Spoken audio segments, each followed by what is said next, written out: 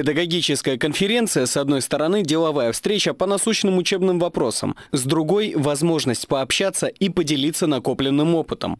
Ведь быть педагогом – это нечто большее, чем просто работа. Когда есть э, понимание друг друга, когда есть э, общее понимание, куда мы идем, э, по какому пути формируется личность ребенка, э, вот это доставляет, конечно же, э, значительно э, более э, глубокое удовлетворение. В зале школы номер 71 собрались представители 178 брянских учебных заведений. Не только школы, это и детские сады, и центры дополнительного образования.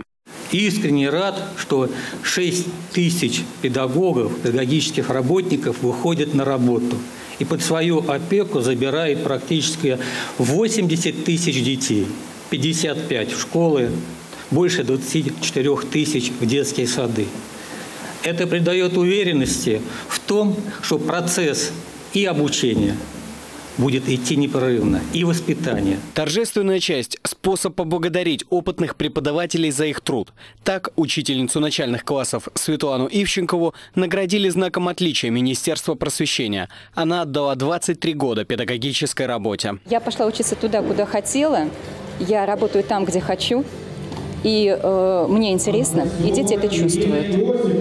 Поэтому нам вместе интересно. Среди присутствующих много молодых преподавателей. Для них конференция – источник вдохновения для личностного развития. Но надо любить детей, любить свою профессию и, наверное, понимать, что ты делаешь мир лучше. Я думаю, этого достаточно, чтобы быть учителем.